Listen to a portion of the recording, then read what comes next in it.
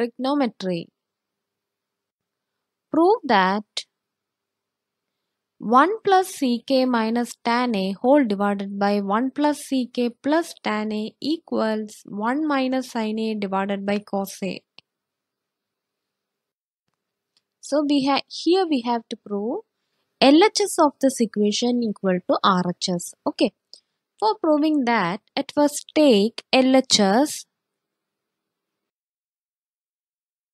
As a first step, what we are going to do is we will take this 1 to the right side. Okay, that is our term is rearranged as sec a minus tan a plus 1. What is the peculiarity of this sec a minus tan a? That is, sec a minus tan a equals 1 by cos a. That is, sec a is 1 by cos a and tan a is sin a by cos a. That is, which gives 1 minus sin a whole divided by cos a. That is our RHS. Okay, that is the peculiarity of sec a minus tan a. Since this term is equal to our RHS, what we are going to do is we have to take sec a minus tan a outside of this term.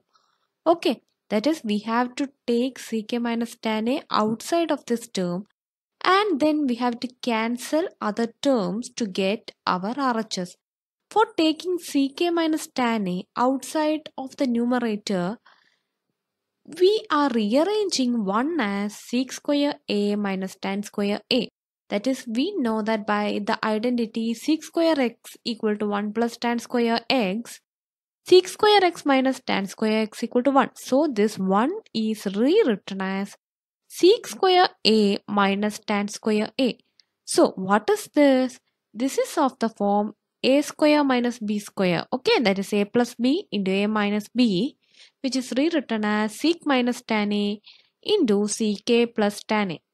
Okay, now we have two terms. One term sec a minus tan a this term and another other term containing this term. Now we can take sec a minus tan a outside then what will remain here? 1. Then what about here? sec a minus tan a. If we take outside, sec a plus tan a will remain here. Now we can cancel the numerator and denominator. And what will remain here? sec a minus tan a. Then what is sec a minus tan a? As our equation, 1 sec a is 1 by cos a tan a is minus sin a by cos a.